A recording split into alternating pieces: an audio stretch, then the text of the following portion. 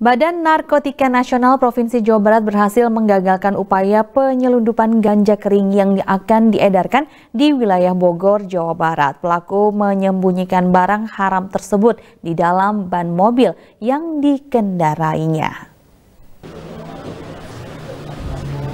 Inilah barang bukti ganja kering seberat 70 kg yang diamankan Badan Narkotika Nasional Provinsi Jawa Barat dari tangan dua tersangka RA dan MS di kawasan Cipaku, Bogor, Jawa Barat.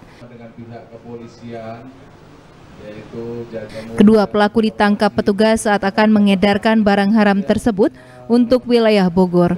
Untuk mengelabui petugas, pelaku menyembunyikan ganja tersebut di dalam ban mobil yang dikendarainya. Penangkapan ini berawal dari kecurigaan petugas terhadap kendaraan yang dikendarai pelaku. Petugas pun membututi mobil pelaku dari Jakarta. Saat mereka ganti ban, ternyata ban tersebut berisi ganja.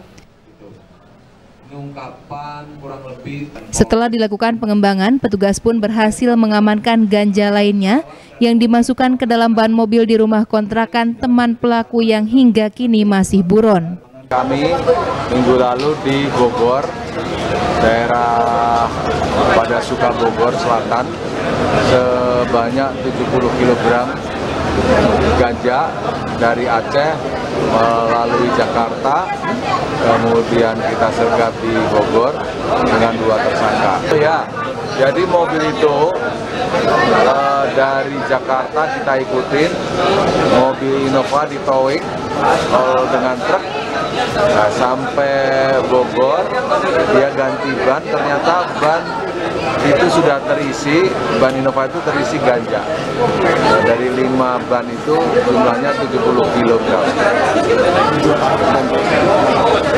Uh, daerah Jawa Barat Pak, Bogor, Sukabumi, Cianjur, sampai Bandung.